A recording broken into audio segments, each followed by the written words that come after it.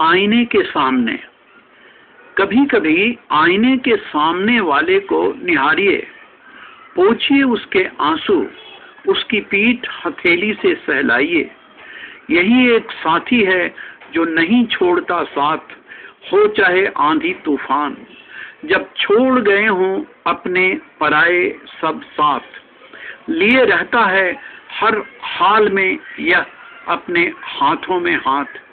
कभी निकल जाइए खुली हवा में इसके साथ, घूमिए, टहलिए, इसके साथ का लुत्फ उठाइए, इसे पानी पूरी खिलाइए।